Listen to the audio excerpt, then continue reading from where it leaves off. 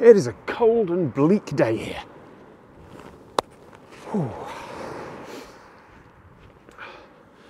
There are lots of towns and villages around the world that once existed but have been lost to the sea or under floodwaters.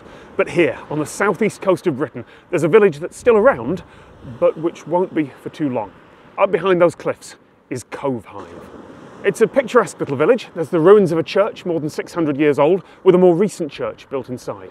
And by more recent, I mean the little church is only 400 years old.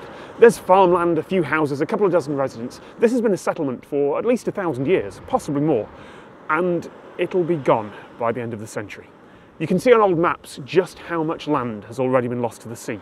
These cliffs here get eroded a little bit with every high tide, steadily being pushed back and back and back.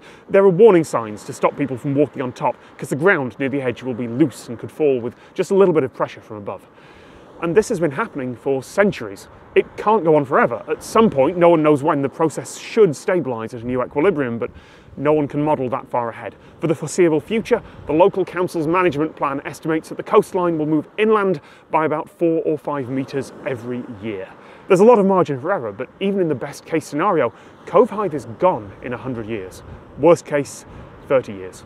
It won't actually crumble into the ocean. To avoid pollution, buildings around here are demolished and taken away when their time comes, and presumably someone will have to move the church's graveyard. So why doesn't anyone save Covehithe? The landowners did offer to build their own coastal defences back in 2011 to add breakwaters here as an experiment to see if the erosion could be slowed, but they were turned down by the council.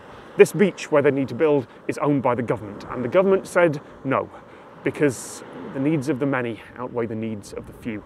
A little way down the coast is Southwold, home to a thousand people and a lot of tourism. And the simulations say that if Covehithe stops eroding, then Southwold would probably start. Or at least they'd need much, much stronger defences. It's not practical to save every building everywhere. This is miles of coastline and they need to defend all of it constantly into eternity.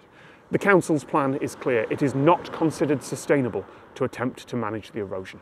I did ask both the landowners and the council for a comment, but neither got back to me, perhaps because Covehithe isn't a tourist attraction, and I don't think they'd want to be.